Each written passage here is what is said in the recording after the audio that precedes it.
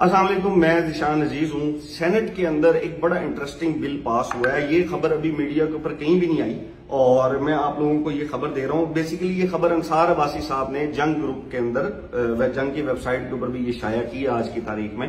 पाकिस्तान जो गरीब मुल्क है जिसमें जो है, वो लोग भूख से मर रहे हैं, रोटी खाने के पैसे नहीं है, डिफ़ॉल्ट की तरफ़ ये मुल्क जा रहा था, और इसी मुल्क के 310 लोग परसों के दिन जो है, वो समंदर के अंदर डूब गए हैं, सिर्फ़ और सिर्फ़ इसलिए कि पाकिस्तान की मौसी हालत ठीक नहीं है, पैसा नहीं है पाकिस्तान में रोज़गार तलाश करने के लिए वो लोग बाहर गए हैं। अब ये जो बिल मंजूर किया गया है अंसार वासी साहब की जो खबर है, ये मैं आपको पढ़ के सुनाता हूँ तो जरा हौसले से आपने ये सुनना है, क्योंकि ये आपके जो टैक्स का पैसा ना, वो यहाँ पे लगेगा। अब ये आप सुने जरा गौर से। अंसार वाजी साहब कहते हैं, जी सेनेट ने गुजशत जुम्मे को मुतफिका तौर पर, लेकिन जल्दबाजी में प्राइवेट मेंबर्स की जानब से पेश करदा एक बिल को मंजूर कर लिया, जिसके तहत चेयरमैन सेनेट जो है, वो पाकिस्तान के सबसे ज़्यादा ज़्यादा जो मुराद याफ्ता अफराद में हैं, उनमें शामिल कर दिया गया उन्हें। वो फिर चाहे मौजूदा चेयरमैन जो अभी काम कर रहे हैं, या फिर रिटायर हो चुके हैं। अब रिटायर को पिछले पचास भी रिटायर हो चुके हैं ना, वो अब इससे फ़ायदा उठाएँगे। ये मुतनाज़ा बिल चेयरमैन सेनेट, तनख्वाह, अलाउंस और मराद एक्ट 2023 को एक और बिल के बाद फौरी तौर पर मंजूर किया गया। बिल मैं पहले पढ़ के सुनाता हूँ, बाद में बताता हूँ कि कौन कौन इसके अंदर शामिल था। ये जो वारदात डाली गई है पाकिस्तानी अवाम के टैक्स के पैसे के ऊपर। अच्छा जी, बिल ये है कि जी, हर सेनेट चेयरमैन को अपनी मुद्दत मुलाजमत पूरी करने के बाद, यानी कि बाद रिटायरमेंट ताहयात बारह मुलाजमीन और छह गार्ड मुस्तकिल तौर पर मिलेंगे। यानी कि अठारह लोग उनको मुस्तकिल तौर पर, बारह मुलाजमीन। आप अंदाज़ा करें कि बारह मुलाजमी एक चाय बनाएगा, एक बिस्किट लेकर आएगा, एक जूता पॉलिश करेगा, एक स्त्री करेगा, एक जो है वो दरवाजे पे खड़ा होगा, एक जो है वो छत पे खड़ा होगा, एक जो है वो सुलाएगा, एक जो है वो कपड़े धोएगा। अब जाके भी मैंने जो है वो ये आठ मेरे पास बने हैं, जबकि ये बारह हैं। फिर उसके बाद एक कंगी देगा, ये मेरे पास नौ हो गए। एक जो है वो सफ़ाई करेगा, ये मेरे पास दस हो गए। एक जो है वो बाथरूम की सफ़ाई करेगा, ग्यारह हो गए। सारे काम हो गए, अभी भी एक पूरा नहीं कर पा रहा, बारह मुलाजमी छह जो है वो गार्ड दिए जाएँगे उनको। अच्छा जी, साथ ही जहाँ भी वो जाएँगे, वीवीआईपी प्रोटोकॉल उनको मिलेगा। वो मुल्की और बैन अवी जो सफ़र करेंगे अपने और अपने और बच्चों और अहले खाना के लिए हवाई जहाज़ जो है वो तलब कर सकते हैं। यानी कि वो अपने लिए, बच्चों के लिए और अहले खाना के लिए हवाई जहाज़ तलब करेंगे। पैसा कौन देगा? हुकूमत पाकिस्तान। अगर कोई सहूलत या मरात इस बिल में रह गई, अब ये इंटरेस्टिंग चीज़ है जी, कि ये जो बिल पेश किया गया, इसके अभी आगे भी मरात हैं, लेकिन वो पहले ही उन्होंने कह दिया जी, अगर कोई ऐसी चीज़ जो रह गई है इस बिल में, वो बाद में, ये सुने जी क्या कहते हैं?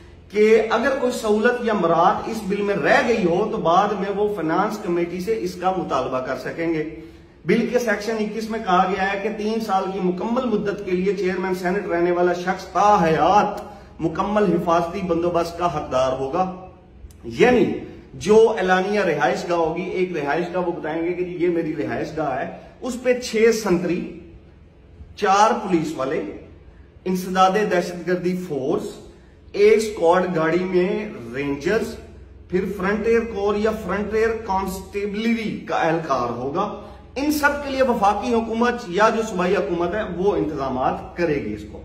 सेक्शन 16 के मुताबिक चेयरमैन सेनेट फाइनेंस कमेटी के मौजूदा जाति अमला रखने का भी मजाज होगा। फिर आगे आ जाए जी वो फिर वो रेगुलर हो या कॉन्ट्रैक्ट पे हो, ये नहीं फ़र्क पड़ेगा, वो जाती अमला रखेगा। ऐसे मुलाजमीन की तादाद 12 से ज़्यादा ना होगी, ये वो जो मैं आपको बताया।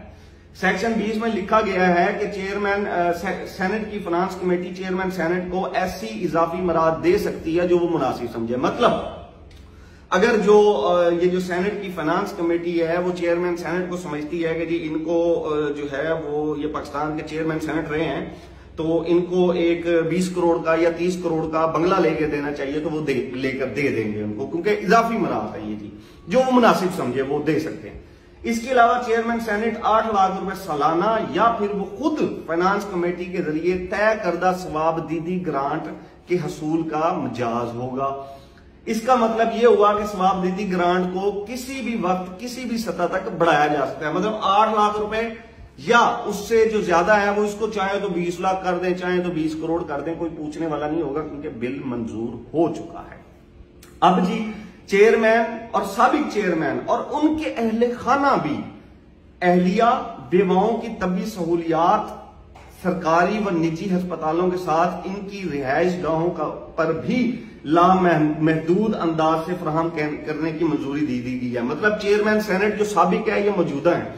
उनके अहले खाना, उनकी अहली और बेवाओं को तब भी सहूलियात दी जाएँगी, वो सरकारी प्राइवेट हॉस्पिटल में भी दी जाएँगी और घर पर भी अब आपका अस्पताल चल के आएगा, जो उनको तभी सहूलियात चाहिए होंगी। उसके बाद ही सेक्शन तेरह में चेयरमैन सेनेट के सफरी अलाउंस और बैरून मुल्क सफ़र के प्रोटोकॉल का ज़िक्र किया गया है।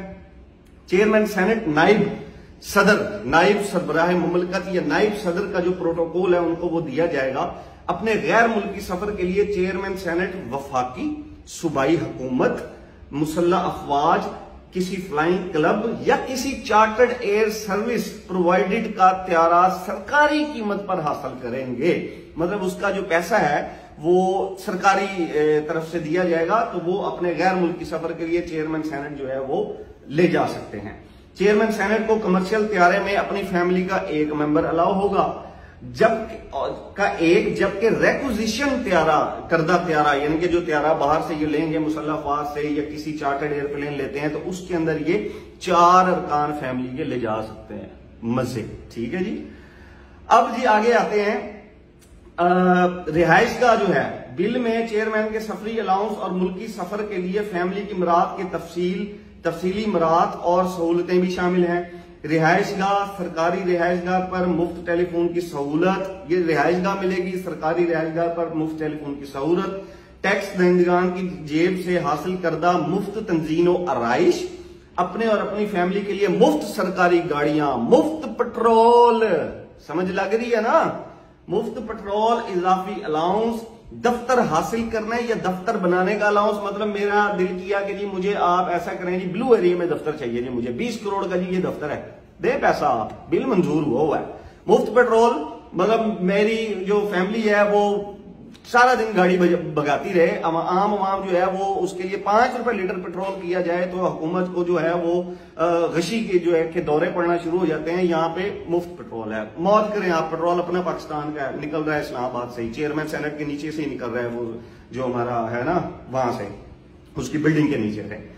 अच्छा जी, अब जी, और फैमिली के लिए मुफ़्त सरकारी गाड़ियाँ, मुफ़्त पेट्रोल इजाफी अलाउंस दफ्तर वगैरह, साजो सामान अलाउंस टीए डीए भी लेंगे, जबकि तनख्वाह इसके अलावा होगी। ये सारी मुराद के बाद जाके उनको मिलेगी तनख्वाह। वो कितनी होगी, वो नहीं है यहाँ पे। अब आते हैं जी चेयरमैन और सबक चेयरमैन सेनेट की ये मराद और सहूलियात की फहरिस्त इस कदर लंबी है कि ये पूरा बिल नौ सफों पर शामिल है। यानी कि ये जो मरात है, ये तो मैंने आपको मोटी मोटी चंद बताई हैं।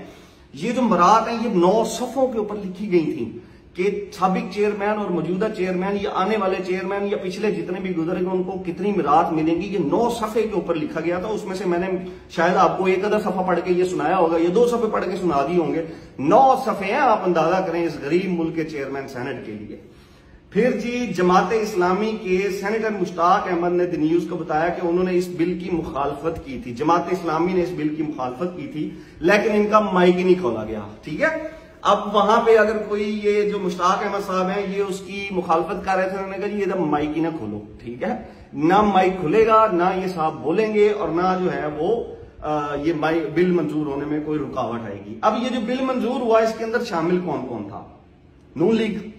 Peoples Party, PTI J I J U I, फे और पीडीएम शामिल दीगर तमाम जमातों ने इस प्राइवेट बिल्स की हिमायत की। Peoples Party, Muslim League Noon, फिर पीटीआई, फिर मौलाना साहब की जमात और पीडीएम सबने इसकी जो है वो हिमायत की है इस बिल की।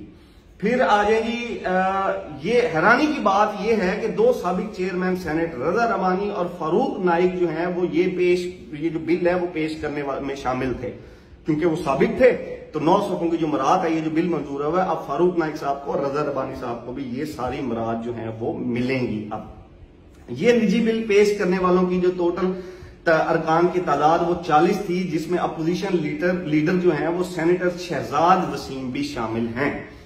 अब आप अंदाज़ा लगाएँ कि ये वो बिल है जो अभी मीडिया के ऊपर इसका कोई चर्चा नहीं है, अभी बिल्कुल खामोशी है, ये जंग न्यूज़ के ऊपर है जी। आप e dot Jang dot com dot P K slash detail slash four seven zero six eight four ये न्यूज़ है जी, आप इसको जाके उन्नीस जून दो हज़ार तेईस अंसार वासी साहब के नाम से ये न्यूज़ जो है वो जो